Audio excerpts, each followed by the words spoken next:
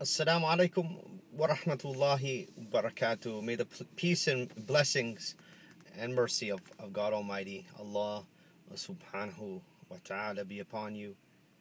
And um, just wanted to give you a brief reminder of what this life is, this brief life that we are in presently, um, this life on this earth, and contemplating our end uh, is very important.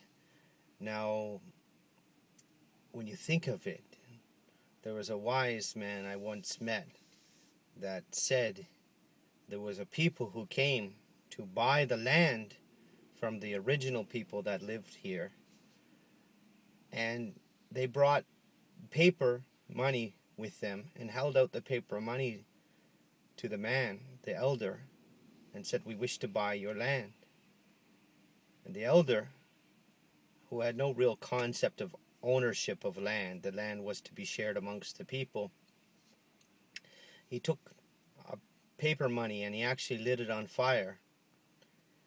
And he said, as he took a scoopful of his land, of the land that they were walking on, and he put it over the fire and it extinguished the fire, he said, which has more value, your money or or the land? And we can see now that the land has the value, the money, uh, the monetary system as it collapses, the only value truly intrinsically is what is in the land, the ability to feed ourselves. Uh, Prophet Muhammad, peace be upon him, he said that there are three things that are shared amongst the people. He said the grazing land, the fuel, and the water that these things should be shared amongst all the people.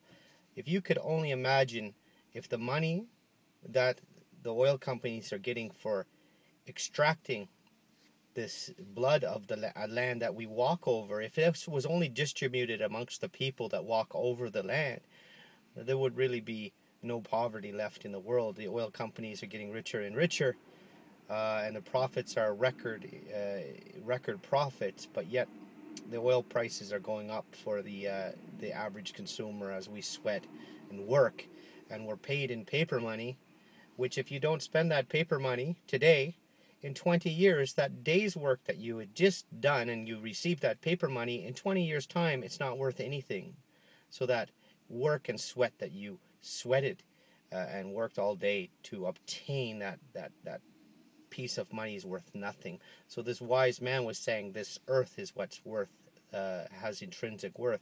Now you think of it, all the desires we have of this earthly, earthly world, the cars, uh, the the uh, the machines, the the gold, everything we want of this earth uh, and this life that we live in, the bling bling, the the music, the videos, to live this lifestyle of consumption, and to find that our internal peace and self esteem in conjunction with this material, material world is erroneous because as like the the earth will will squash the flames of the money uh, the earth will also at one time squash all of the desires of the heart because that which you walk over every day that earth which you stamp over with your feet is your grave that's where you're going. So every bit of your earthly desires that you feed and you you feed the fire of your desire through earthly means through obtaining material wealth it will leave you high and dry one day as you sink beneath the ground and you're covered up with this earth.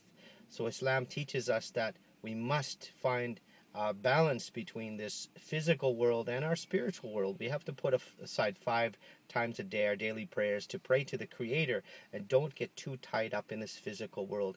If you have wealth, Allah's given you wealth, then use it to benefit humanity. Use it in a way that is constructive and use it, but don't fall in love with it. Don't fall in love with it because it's going to leave you. Don't fall in love with anything that will eventually leave you and not even come to the grave with you. Your wife, your children, they will come to the grave with you. They will reach the edge of your gravesite with you.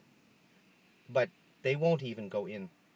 Only your Creator who loves you, has created you, uh, He can sustain you also in the next life. Not your car, not the BMW, not the US dollar, uh, not your position. It won't matter. It's all going to go just like the earth will take care of the fire fires of the desire of the heart. That's where we're all going.